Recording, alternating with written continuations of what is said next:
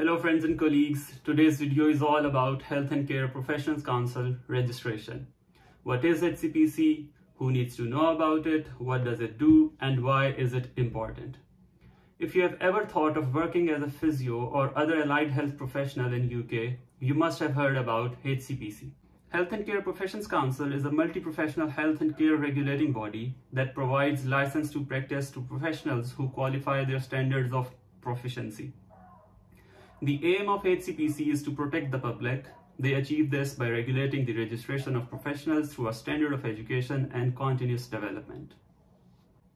To work as an allied healthcare professional in the UK, it is a legal requirement to be registered by the Health and Care Professions Council.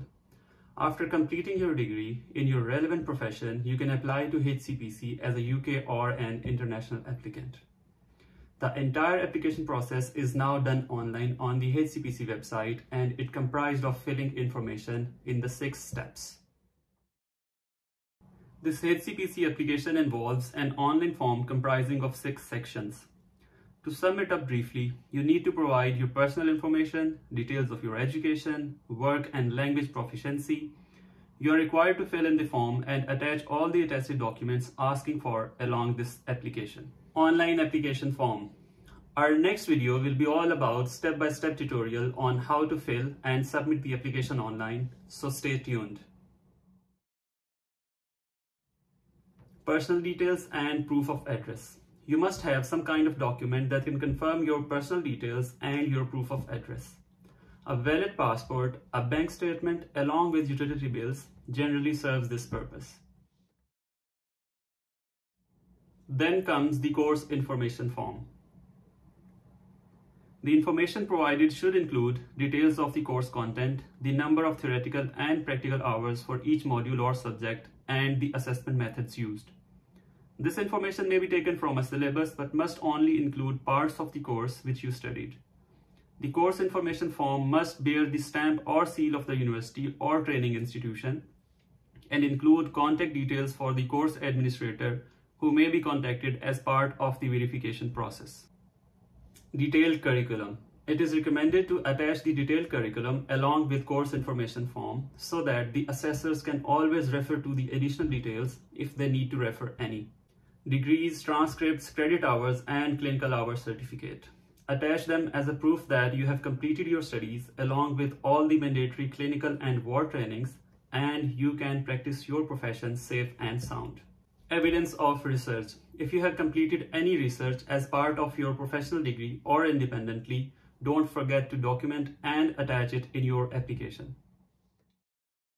Professional references from employer. You should provide as much detail as possible to meet the HCPC standards of proficiency. The information should be provided in chronological order with your most recent experience first. And remember, only include professional contact details of your manager or supervisor. HCPC doesn't accept private postal or email addresses. Professional registration and membership. In this section, you need to tell HCPC about your registration or membership with any association, regulatory body, or similar organization in your home country. English language proficiency you must declare whether English is your first language or not. Having studied English or undertaken education in an institution where mode of instruction was in English doesn't, doesn't necessarily mean that your first language was English.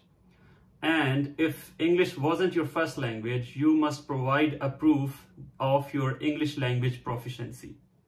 As per HCPC, the acceptable IELTS band score is overall 7 band with no module less than 6.5 and for speech and language pathologists the overall band score is 8 with no module less than 7.5.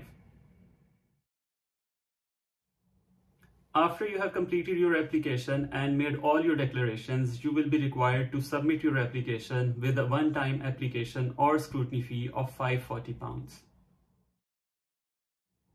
This application submission can have four outcomes. Number one, successful. Congratulations, your application has been successful. Number two, further information request. based on the information provided along with your application, if they are unable to reach any decision, they might request you to provide them with further information in support of your application. The third outcome could be the test of competence. If after reviewing your application, they still believe that there are certain deficiencies in your application and you are unable to meet the scope and standards of practice, you may be invited to undertake a test of competence. And the fourth one and the most rare one outcome could be that your application has been declared unsuccessful. But there are very, very less chances that this outcome could ever happen. Now, if your application is successful, you will be informed about it in an email requesting you to pay the registration fee. After this, you will be enrolled on the HCPC register and this registration will last for two years. After this, you will have to renew your registration. The calendar year for HCPC ends on the 30th of April each year. I hope this video has made your understanding about HCPC and the entire application process clearer.